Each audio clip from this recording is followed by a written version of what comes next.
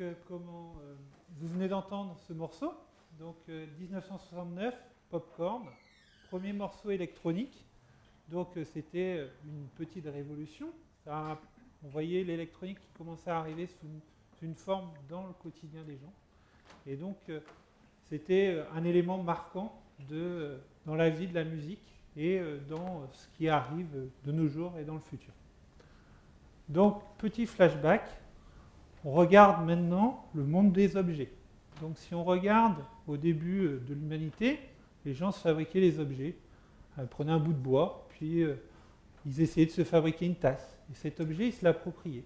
Ils se l'appropriaient, c'était un élément important de leur vie. Et s'ils le perdaient, c'était une catastrophe. On a eu après l'arrivée de l'industrialisation. L'industrialisation, on fait des objets de masse. Donc euh, on crée des tasses, on crée des assiettes. On fait même des objets jetables. Donc on fait une grosse fiesta à la maison, on fait des assiettes en papier, puis après on s'en fout, on met tout dans une poubelle, et puis euh, ben, c'est propre, et puis voilà. Puis aucun attachement à l'objet.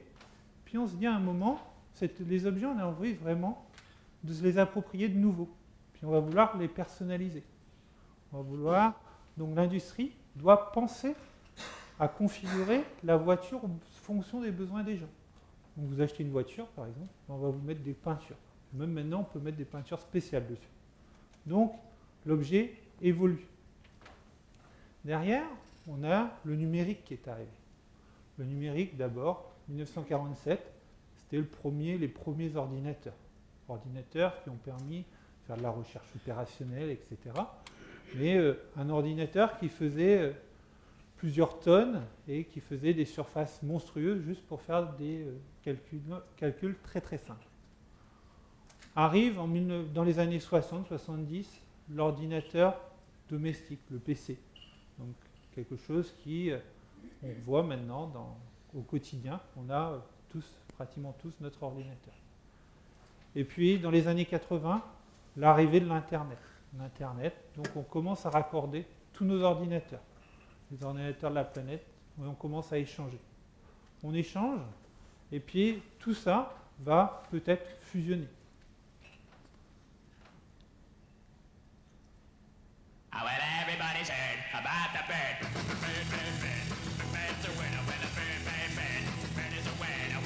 Donc ce monsieur, ce monsieur, il, vous, il remonte que, en fait, comme on a pu le voir précédemment, on a de plus en plus d'informations. Et ces informations, on ne sait plus les traiter. On ne sait plus du tout les traiter. Et puis, euh, on est submergé. L'Internet, on en reçoit de partout. Nos téléphones mobiles, on en reçoit de partout. Et en 2004, donc, j'ai eu pour idée de mettre au point un objet qui allait vous permettre de récupérer toutes ces informations de façon simple. De façon extrêmement simple et de façon ludique également dans un premier temps, on a créé cette petite lampe. C'était une lampe, la lampe dalle. Donc dedans, vous aviez un canon à ultrasons. Détectez vos mouvements. Derrière, on avait du son, on avait micro. Tout ça était raccordé à Internet. Et tous ces objets vont pouvoir être mis dans la maison. Et ils vont être mis dans la maison et ils vont communiquer avec d'autres objets qui seront sur la planète. Vous avez un ami qui est en Australie, et puis euh, vous, vous êtes dans votre chambre de bonne à Paris, dans Mossad, et lui, il est au soleil. Ben, vous allez pouvoir récupérer l'ambiance de chez lui, et la lampe va vous faire un halo de lumière. Et euh, il y a des sciences, il y a ce qu'on appelle les interfaces calmes, et on s'est rendu compte que les, individus étaient donc très sensibles à la mémoire. Et en même temps, dans le cerveau, on a deux zones. On a une zone de mémoire qu'on sollicite fréquemment, puis on a une mémoire secondaire qu'on sollicite très peu.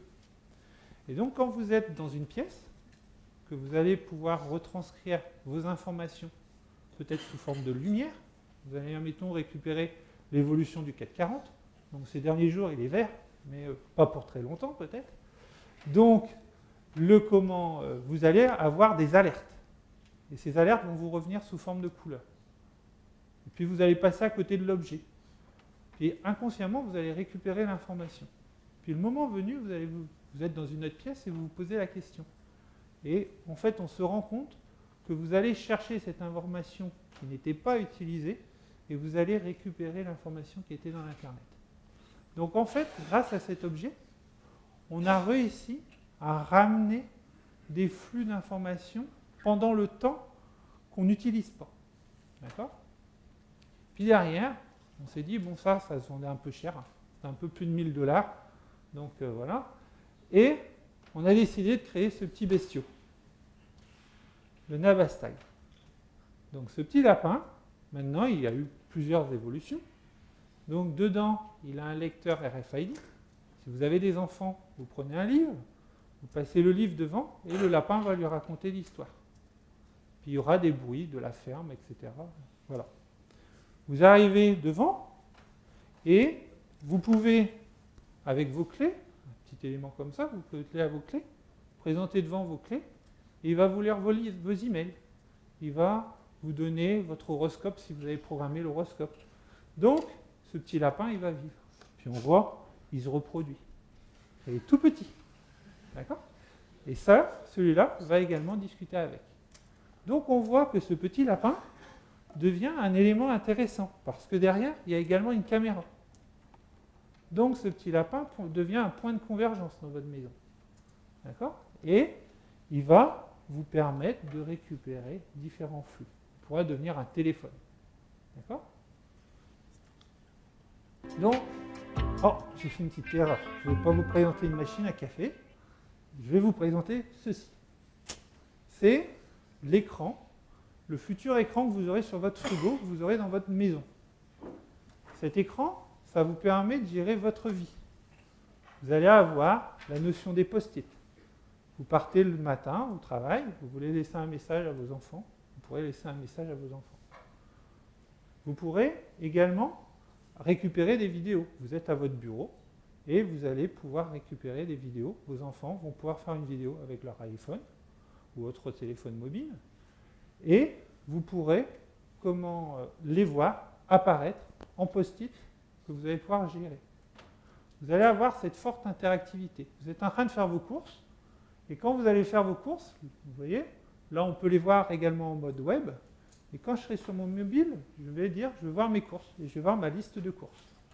Dans le futur, l'industrie de l'agroalimentaire est en train d'intégrer des puces RFID dans le paquet de lait, dans le boîte de, yaourt, dans les boîtes de conserve. Au fur et à mesure que vous mettrez dans votre frigo, le frigo va compter. Quand vous sortirez, en faire vos courses, ben, vous aurez tout accessible dans votre mobile, soit sur votre ordinateur, ou sur cet écran. Donc ça, c'est le futur, c'est ce que vous allez avoir dans la maison du futur. Donc ici, on peut déplacer ces post-it, on peut s'organiser comme on veut, on peut gérer sa vie. Donc tout ce que vous aviez en papier, ben, vous vous dites, c'est fini. On l'abandonne, le papier, c'est la fin. D'accord Et on va aller un petit peu plus loin. Donc là, si vous voulez l'essayer, vous pouvez télécharger l'application euh, permettant d'aller euh, utiliser ce tableau. Même si vous ne l'avez pas tout de suite ce tableau, vous pourrez gérer entre votre iPhone et comment votre ordinateur. Donc vous allez sur le store d'Apple, vous tapez le tableau et vous avez cette application. Maintenant, on arrive sur la domiciliation numérique. Donc, la domiciliation numérique, ça doit être quelque chose de communautaire. Donc on doit échanger et on doit partager. Donc on veut partager nos documents. Donc on va partager nos documents et on va retrouver des notions importantes. Des notions de coffre-fort numérique. Avant, vous aviez votre gros coffre dans la maison pour mettre les bijoux, les papiers. Maintenant, c'est fini. Tout ça, vous allez le numériser. Ça va être mis dans des data centers. Il y a un impact environnemental, mais on sait maintenant mieux le gérer. Tout ça, vos documents, vous voulez les échanger. Vous allez vouloir avoir cette notion également de la confidentialité, de la traçabilité. Donc, on va mettre en place des choses.